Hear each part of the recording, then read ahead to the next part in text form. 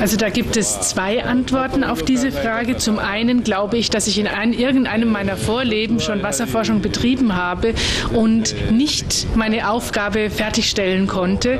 Deswegen muss ich das in diesem Leben jetzt fertig machen.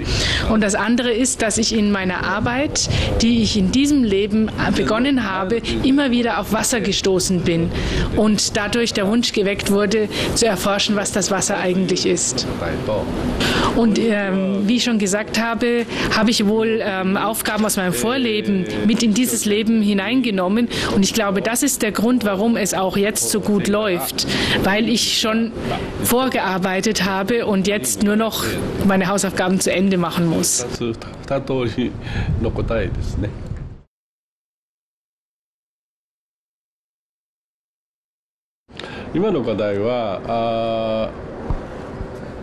Ähm, ich habe gesehen, dass das Wasser ein sehr, sehr wichtiges Element ist in unserem Leben. Und ähm, das Problem sehe ich darin, dass eben sehr viele Menschen jetzt auf der Welt das Wasser noch nicht so für wichtig erachten. Es, äh, und auch die, in den Lehrplänen, in, in den Schulen wird nicht über die Wichtigkeit des Wassers gelehrt, nicht genügend. Und deswegen ist es, denke ich, meine Aufgabe in diesem Leben, dafür zu arbeiten, dass das Wissen über das Wasser viel besser verbreitet wird, schon ab der Schule. そしてまたそれを、えー、教育の中で取り入れようとしていないそういうことに関してそれはもう絶対に許せないというかな間違っているということで、えー、その必要性を、えー、世界の人々にあの訴えています。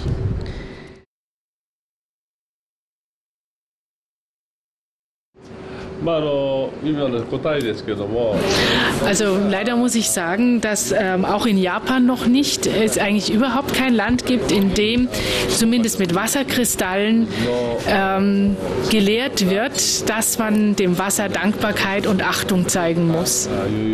Also ähm, das liegt aber auch so ein bisschen am Bewusstseinslevel der gesamten Menschheit. Im Moment ist es einfach ähm, so, dass das äh, Bewusstsein noch nicht so hoch ist, aber man kann auf der auf einem anderen Blickwinkel aus sagen, dass natürlich noch Potenzial, Entwicklungspotenzial da ist, ähm, dass eben das Bewusstsein der Menschheit noch weiter angehoben werden kann. Deswegen ist es mir jetzt wichtig, Bewusstsein zu wecken dafür, dass äh, für die Bildung der Kinder ein optimales Bildungsprogramm entwickelt wird.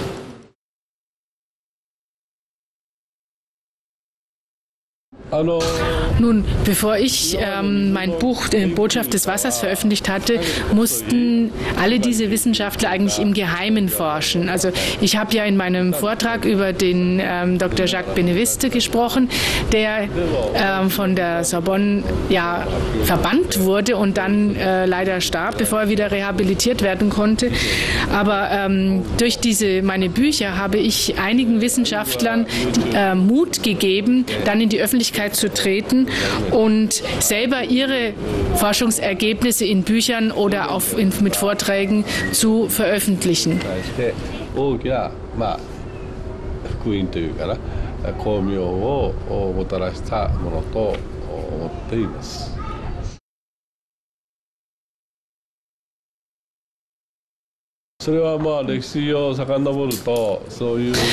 Ja, tatsächlich ist es so, wenn man in die Geschichte zurückblickt, dass es da eine Zeit gab, in der das Wissen da war und es dann aus Gründen der leichteren Regierbarkeit der Massen dieses Wissen zurückgehalten wurde. Also die Masse dumm gehalten wurde, damit sie leichter regierbar bleibt. Mhm.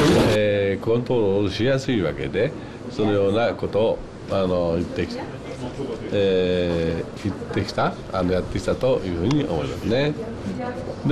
Ja, ich habe in meinen Vorträgen sehr häufig darüber gesprochen, aber das hat noch keine Bewegung ausgelöst. Deswegen habe ich dieses Kinderbuch hier selber geschaffen und nun reise ich um die Welt und verteile das auch und äh, suche ja Sponsoren dafür.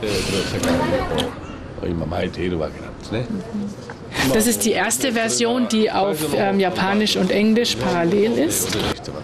Ja, das ist also ein Kinderbuch, ein Bilderbuch ähm, mit eingebauten Wasserkristallen, in dem ein Wissenschaftler, so wie er sieht ein bisschen wie Einstein aus, einem Kind diese Wassertheorien erklärt.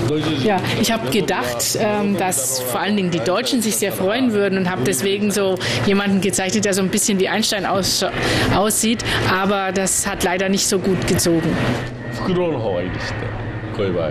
In, Im deutschen äh, Sprachraum ist wahrscheinlich die Eule viel besser als Symbol der Weisheit.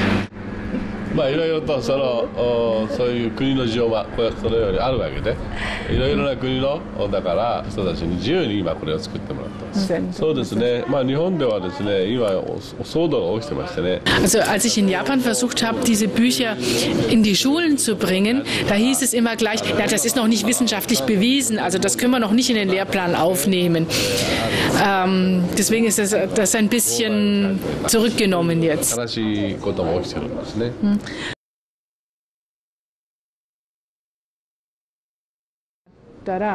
ことも起きてるんですね、うん Also ich habe schon die Erfahrung gemacht, also die Waldorfschulen, die haben das schon ähm, aufgenommen. Zum Beispiel war ich in, Johann in Johannesburg in Südafrika und habe dort vor Schülern einer Waldorfschule sprechen dürfen.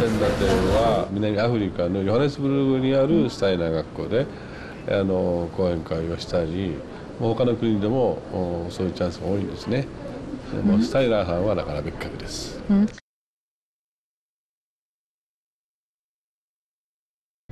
Nun, ich äh, möchte gerne alle dazu aufrufen, äh, dass wir uns erst einmal beim Wasser entschuldigen dafür, dass wir es bisher nicht beachtet haben.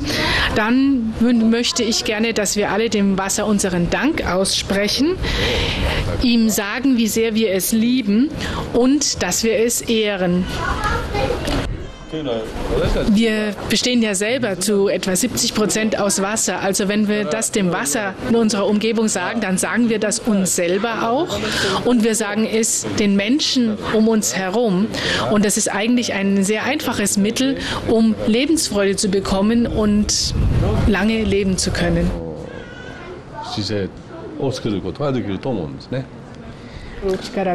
Ja, da, äh, da, haben Sie völlig recht. Es gibt nichts, aber auch gar nichts auf der Welt, in dem nicht Wasser enthalten ist, egal wie hart es ist.